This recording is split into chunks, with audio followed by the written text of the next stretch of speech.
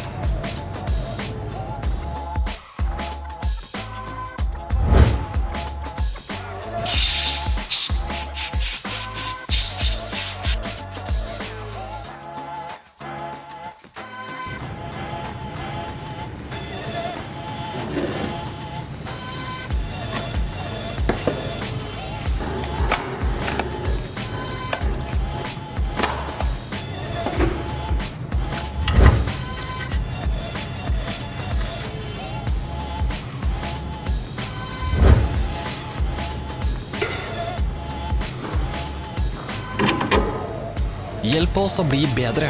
Legg igjen en kommentar.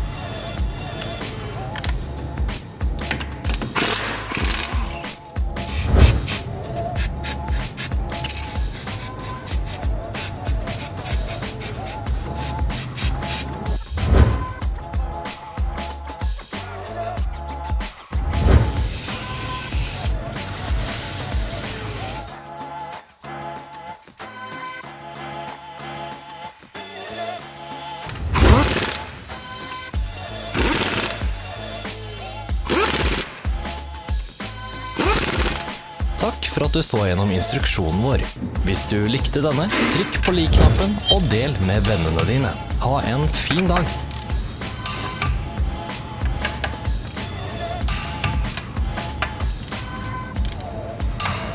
Følg oss på sosiale medier. Vi er på Instagram, Facebook og Twitter. Alle linkene er i beskrivelsen.